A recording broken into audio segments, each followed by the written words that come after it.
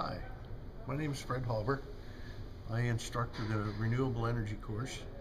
Um, and renewable energy is one of the growing uh, methods of saving energy and so forth in the world today. It encompasses solar, wind, hydropower, uh, and types of alternative energy like biomass and so forth.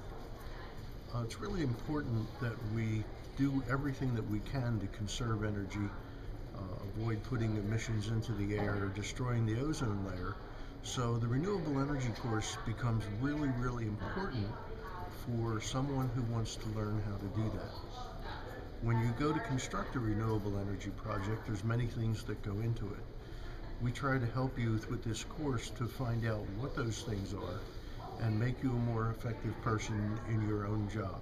So when you're thinking about what you're going to do in your job and how you're going to bring value to your company, to your state, your home, your kids, your grandkids, um, this is a course for you because this will help you to prepare yourself to function in today's world.